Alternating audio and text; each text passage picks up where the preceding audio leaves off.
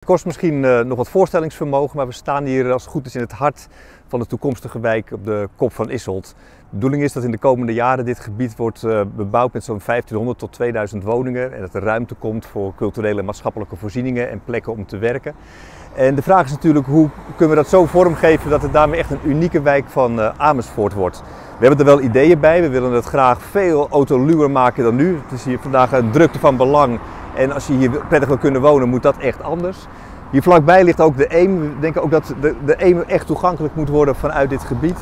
Maar wat we ook uh, graag zouden doen is dat we de oude industriepanden, u ziet er hier een paar, dat we die een nieuwe toekomst geven. En daarmee laten bijdragen aan de identiteit van deze nieuwe Amersfoortse stadswijk. De grote vraag is natuurlijk, wat doen we met die panden? Wat komt erin? Wat voor een gebruik kunnen we ons daarbij voorstellen?